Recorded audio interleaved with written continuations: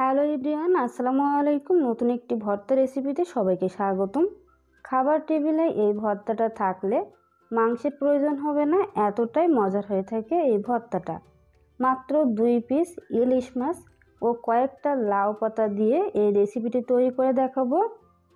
একবার এই ভর্তা রেসিপি কাউকে করে খাওয়ালে এর স্বাদ ভুলতে পারবে না, আশা করি এতটাই মজার হয়ে থাকে। যেহেতু এখন ইলিশের সিজন তাই একবার হলেও বাসায় ট্রাই করে দেখতে পারেন ইলিশ মাছ ও লাউ পাতার এই ভর্তাটা। তো কথা না বাড়ে চলুন দেখে আসি ভর্তা রেসিপিটি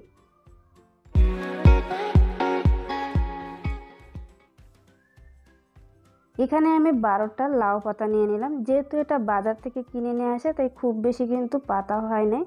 এজন্য আমি যে কয়েকটা পাতা পেয়েছি, সেই কয়টাই নিয়ে নিলাম। মোট বারোটা পাতা আছে। তো পাতাগুলো খুব ভালোভাবে পানি দিয়ে আগে পরিষ্কার করে নিয়েছি তিন থেকে চারবার। এখন পাতাগুলো একটা পাত্রে নিয়ে নিলাম। আর এখানে নিয়ে নিলাম দুই পিস ইলিশ মাছ আর লাগবে আমাদের রসুন এবং পেঁয়াজ কুচি। এখানে বড় সাইজের একটা পেঁয়াজ কুচি এবং মাঝারি সাইজের একটা রসুন আমি কুচি করে নিয়েছি খোসা ছাড়িয়ে। এখন এই পাতার যে শিরা থাকে বা এই যে তার মতো থাকে, এটা আমি ছাড়িয়ে নিব। এটা কিন্তু সিদ্ধ হতে চায় না, তাই এই অংশটা অবশ্যই ফেলে দিতে হবে।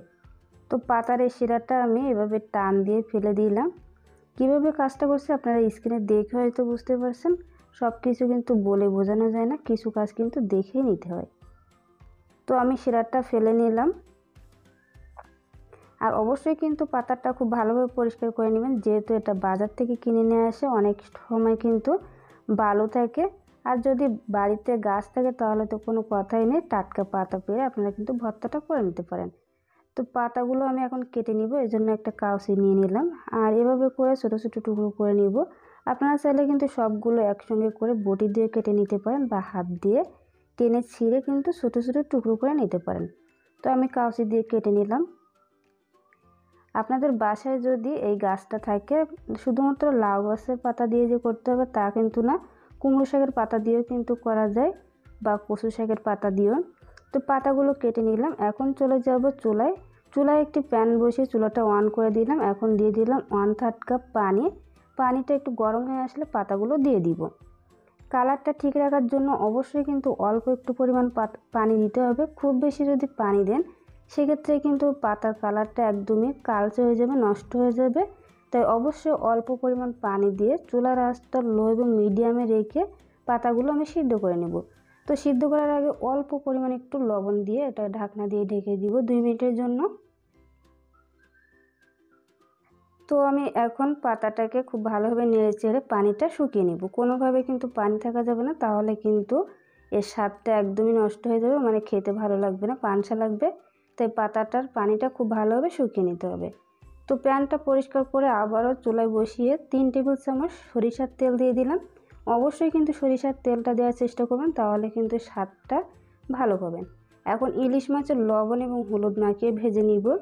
যেহেতু এই ইলিশ মাছটা ভর্তা করব, তাই এটা কিন্তু এভাবে আস্ত না ভেজে এটা দিয়ে খুব ভালোভাবে একটু চেপে চেপে মাছগুলোকে ভেঙে ভেজে নিলে তাড়াতাড়ি হয়ে যাবে এবং তেলের ভিতরে কিন্তু খুব সুন্দর একটা ইলিশের গন্ধ আসবে।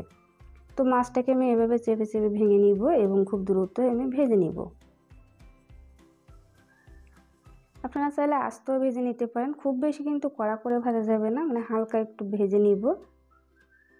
তো মাছগুলো আমি প্রায় এক দেড় মিনিটের মতো করে সময় নিয়ে ভেজে নিলাম, মাছটা এখন উঠিয়ে নিব। এখন এই তেলে দিয়ে দিব তিনটা শুকনো মরিচ, শুকনো মরিচটা ভেজে নিব। আপনারা চাইলে কয়েকটা কাঁচা মরিচ অ্যাড করতে পারেন, সেক্ষেত্রে খেতেও কিন্তু টেস্টটা অনেক ভালো আসে। তো মরিচটাকে ভেজে উঠিয়ে নিলাম।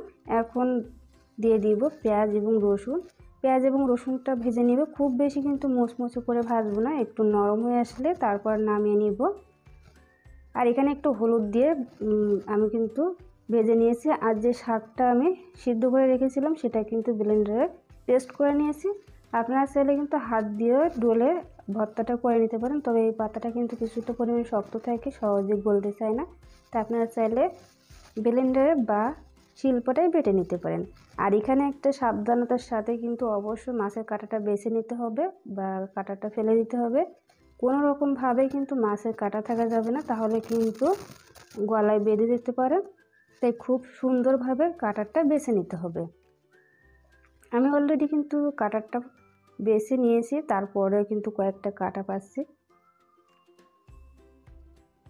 তো কাটাটা খুব ভালোভাবে বেছে নিলাম। এখন লবণ দিয়ে শুকনো মরিচটাকে ডলে নিব। যেহেতু আমি আগে একটু লবণ দিয়েছিলাম এই জন্য কিন্তু অল্প পরিমাণ লবণ দিয়ে দিলাম। লবণটা অল্প করে দিবেন, তারপর খাওয়ার সময় যদি মনে হয় যে আর একটু লাগবে, তাহলে কিন্তু অ্যাড করে নিতে পারেন। বাট বেশি দিয়ে কিন্তু মরিচটা মাখাতে যাবেন না। তো আমার কাছে মনে হচ্ছিল মরিচটা একটু বেশি হয়ে যেতে পারে, যেহেতু একটু বড় সাইজের মরিচ। তো একটা মরিচ রেখে দিলাম এবং দুইটা মরিচ আমি লবণ দিয়ে মাখিয়ে নিলাম।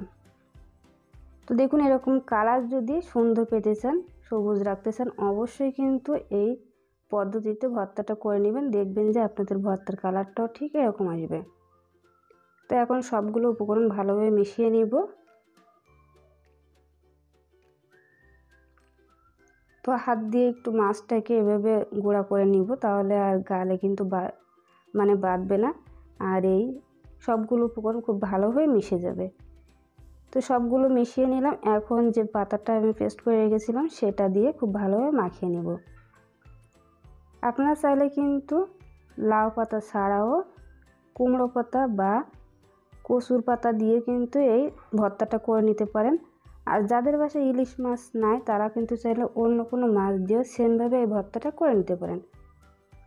তবে ইলিশ মাছ দিলে কিন্তু যে স্বাদটা বেশি লাগবে তা কিন্তু না। শাক এবং মাছ দিলে এমনিতে ভর্তাটা ভালো লাগে। তো আপনারা চেষ্টা করবেন, যেহেতু এখন ইলিশের সিজন চাইলে ইলিশ দিয়ে ভর্তা করে নিতে পারেন। ইলিশের যে মাথা থাকে এবং লেজটা থেকে, ভীষণ কাটা থাকে, আপনারা চাইলে সেটা দিয়ে করে নিতে পারেন।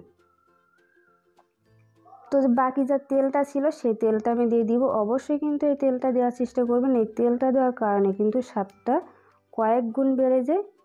তেলটা দিয়ে খুব ভালোভাবে আবারও মাখিয়ে নিব। কালারটা দেখেই কিন্তু এমনিতেই জিভে জল এসে যাচ্ছে। আমি কিন্তু এই ভর্তাটা করছি দুপুরবেলা। তো দুপুর এবং রাতে আমি কোনোভাবে অন্য কোনো তরকারি খাইনি। শুধুমাত্র এই ভর্তাটা দিয়েই কিন্তু খেয়ে নিয়েছি। এখন একটা পাত্রে নামিয়ে নেব। আপনারা চাইলে কিন্তু বিভিন্নভাবে ডেকোরেশন করে নিতে পারেন বা এটা সাজিয়ে নিতে পারেন। তো পাত্রে নামিয়ে নিব। আর দেখুন কালারটা কত সুন্দর এসেছে। তো আমি এখানে একটা শুকনো মরিচ এবং একটা পেঁয়াজ দিয়ে উপরটা একটু সাজিয়ে নিলাম। এমনিতেই কিন্তু দেখতে অনেক ভালো দেখাচ্ছে, কোনো রকম কিছু না দিলেও হবে। তারপরে আমি একটা শুকনো মরিচ যেহেতু ছিল সেটা দিয়ে দিলাম। আর একটা পেঁয়াজ এভাবে রিং করে কেটে সেটা দিয়ে দিলাম। তো আজকের এই ভর্তা রেসিপিটি ভালো লাগলে লাইক কমেন্ট শেয়ার করবেন। দেখা হবে পরবর্তী কোনো নতুন ভিডিওতে আসসালামু আলাইকুম।